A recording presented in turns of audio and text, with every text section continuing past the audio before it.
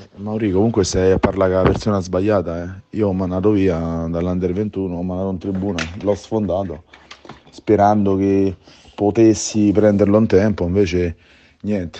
Purtroppo quando dico celebro leso, adesso tutti vanno in giro, oh, hai ragione, hai ragione, io c'avevo ragione purtroppo, è un problema grande questo, proprio per lui, per la vita, non capisce un cazzo.